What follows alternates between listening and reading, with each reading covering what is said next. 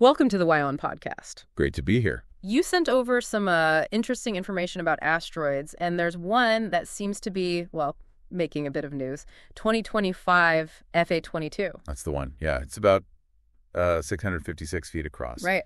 And the European Space Agency, ESA, they've actually just added to their, you know, their top five list of potentially hazardous objects. Top five. Okay. So hazardous why? Is there an impact risk? There is a potential impact date, but it's uh, it's way off in the future. September 19th, 2089. 2089. Okay. That is distant. So what are we talking probability wise? Right now, it's really, really low. Yeah.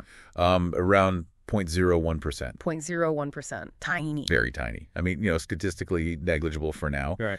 But because of its size, if it were to hit, it could cause, well, significant regional damage, so it warrants watching. And I saw notes about the Palermo and Torino scales. What do those tell us? Yeah, those are basically risk assessment tools. Yeah. Its Palermo scale rating is just above MEDIX 3, which kind of flags it as needing a bit more attention than, say, the average background risk. And on the Torino scale, it's sort of teetering between 0 and 1. 0 means essentially no hazard. 1 means uh, routine discovery, merits careful monitoring, but still very low odds. So low risk, but not zero risk. Keep an eye on it. Exactly.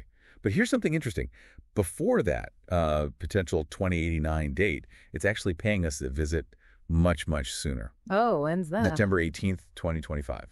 So next year. Wow. Okay, so it's coming close? Relatively close, yes. Okay. It's what's called an Apollo group asteroid, Right, meaning its orbit crosses Earth's orbit. precisely.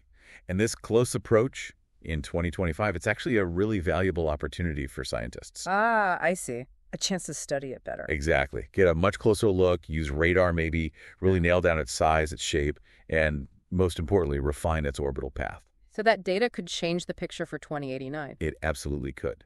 More data usually means better predictions. It might rule out the impact possibility entirely or, well, refine the odds. Makes sense. And this is just one asteroid, right? There must be loads they're tracking. Oh, absolutely. ESA's risk list alone has, let me check. Yeah, currently 1,782 asteroids and comets on it. Wow. And the total count of known near-Earth objects, or NEOs, is much higher. We're talking over 38,000 asteroids and about 123 comets near Earth. That's a lot of space rocks.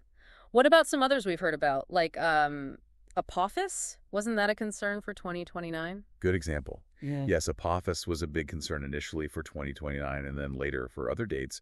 But with more observations over the years, scientists have definitively ruled out any impact risk for the foreseeable future. Okay, so that one's off the worry list. Completely off. Yes, Yeah. there was another recent one, 2024 YR4, mentioned maybe for 2032. Right, I remember seeing that. Same story, basically. Further tracking showed no risk to Earth.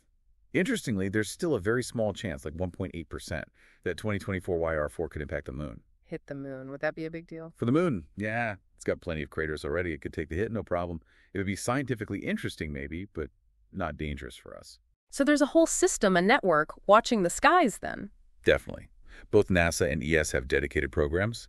NASA has its Asteroid Watch at the Jet Propulsion Laboratory and the Center for Near Earth Object Studies, CNEOS. yes, right. Yeah, they're constantly tracking orbits, calculating risks, refining models.